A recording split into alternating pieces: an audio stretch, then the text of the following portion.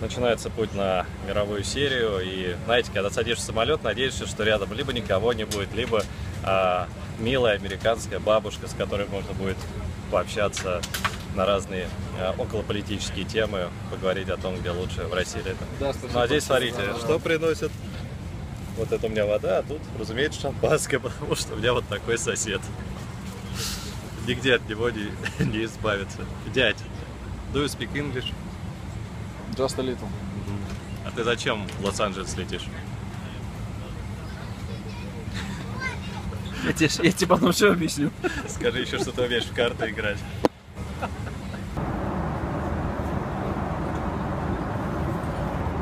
Одной Солт-Лейк-Сити, куда состоялась моя первая поездка в Соединенные Штаты в 2002 году.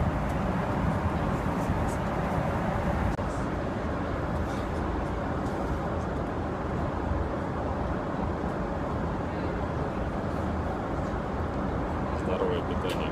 Много в самолете надо пить воды. Сколько вина-то выпил? Понятия не имею, вообще не пьяный.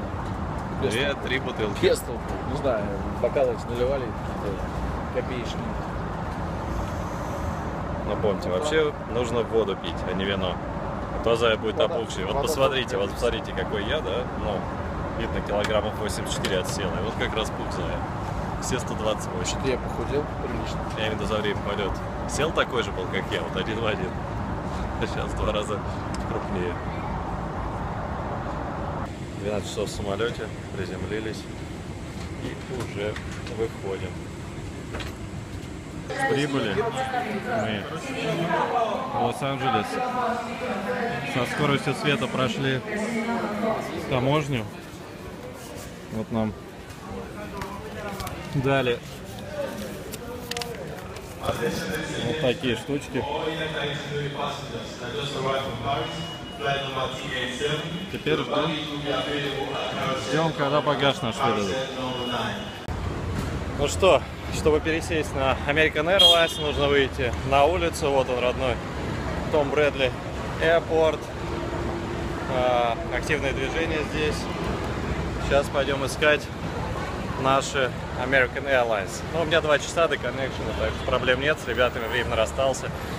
Скоро с ними уже увижусь. Может быть сегодня, а может завтра в родном Рио.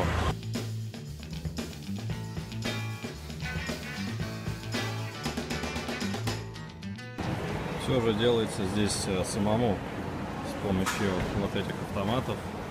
Отправляют э, на чек-ин именно к автоматам. И вот здесь я ввел все свои данные и получил бирку на багаж, оплатил дополнительный багаж и сам сейчас буду отрывать бирку на чемодане и наклеивать новую.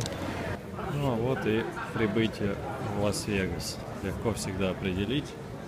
Единственный город, по крайней мере, из тех, где я побывал, где выходишь из аэропорта, даже еще только вышел с самолета и сразу видишь автоматики. Выдача багажа. Что мы видим? Ну, конечно. И здесь можно покатать в автоматике.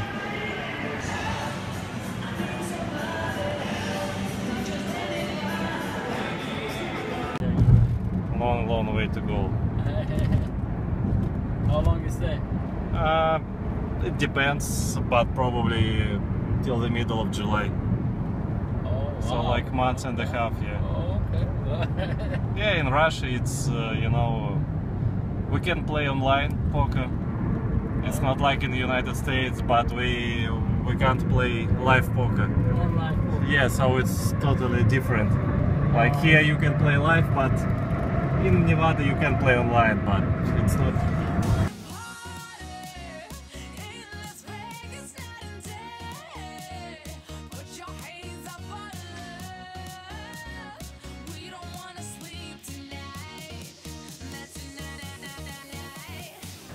Что, вышел я из дома сегодня в 10 утра, добрался до Рио в 8 вечера. 8.30, если прибавить 10 часов, получается в 17 6.30. Ну, то есть 20 с половиной часов составил путь сюда, но он того стоил. Ура! Вот я в столице покера на это лето. Вот он, замечательный Рио у меня за спиной. Ну, сейчас пойду заселяться. Старый, любимый, знакомый, родной Рио. Хороший такой, дорогой. Пятый мой визит. Дважды мы снимали дом.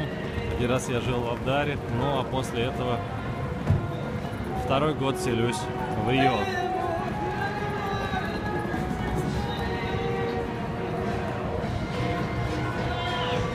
Ну вот обычный ресепшн, я все-таки Diamond, поэтому пойду заселяться в регистрацию для Даймондов. Ну все, получили свою законную Diamond карту и ключик номер, можно двигать, заселяться.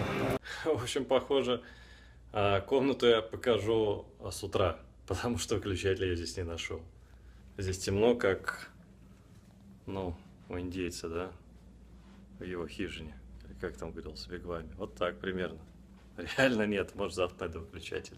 Все, первый день прибыл, 9 вечера, а выехал, как я уже говорил, в 10 утра по Москве. А сейчас по Москве 9, 29 плюс 10, 19, 7 утра в Москве. 21 час пути. Верим, что не зря. Разобрался я с выключателями. Это такие вот милые торшерчики. Ну и вот моя скромная комнатка. Скромный, по-моему, king size кроваткой. Здесь такой шкаф, куда можно сложить кучу вещей. Упс. Не совсем. Ага, ну тут торшер отражается. В общем, это телек. Это телек. Вот и пульт от него здесь пульт. Так, вот столик с пультом от телека, журнальчиками разными. Ну, в основном здесь всякая реклама. Зеркало. Бутылочка воды. Кроватка.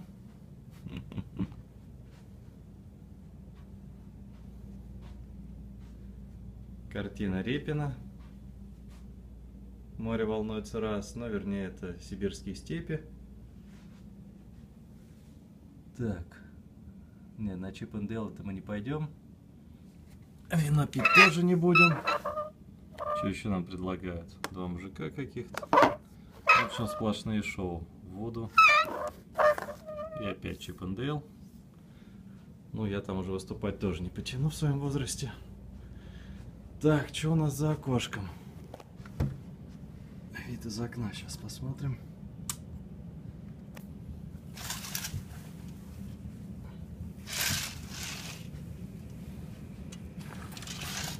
Ну вот он.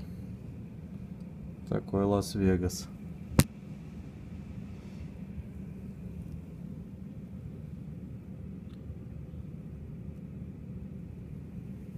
Обычный ночной яркий город. Ну, выйду я, конечно, в какие-то из ближайших дней. Доберусь до Стрипа, где бурлит жизнь. Пока что здесь у нас за окошком тихо. Успел приехать и разместиться, а уже нужно идти регистрироваться в колосс, потому что по 3000 человек играют в день, и завтра, если прийти вообще даже с даймонд картой не зайти. Первое утро в 6 встал, несмотря на то, что поздно лег. Э, Да, это называется джетлэг, но чувствую себя прекрасно, отличная погода. Вообще на улице свежо, сейчас 26 градусов.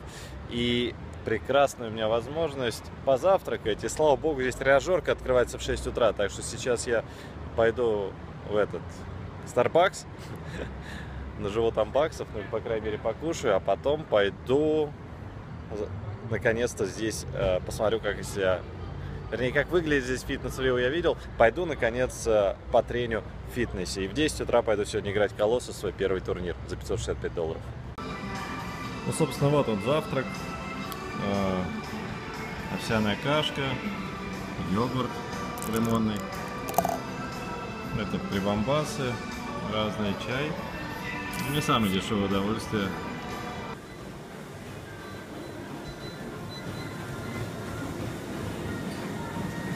непривычно, довольно пустынно, но только дорожки заняты.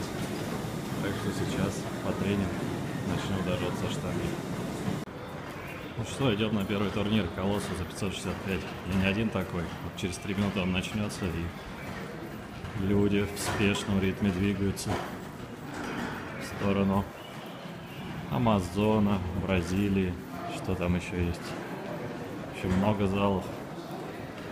Чувствуется атмосфера наступающего праздника.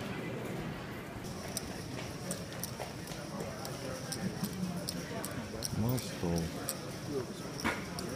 Все любители.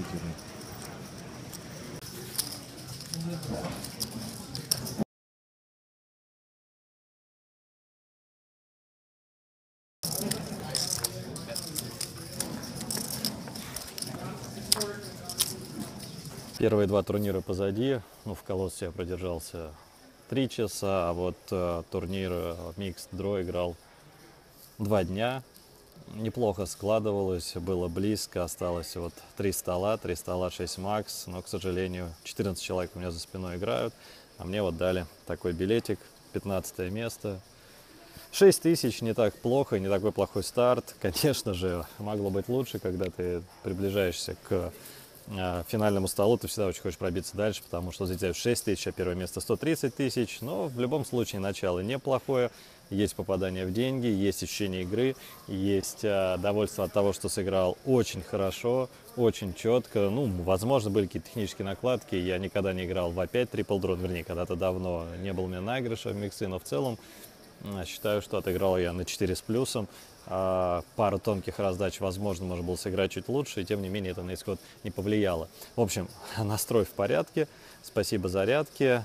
А, Болеем здесь за Джесси Мартина, Джеймса Обста. Ну а вот там у меня за спиной, наверное, так не видно.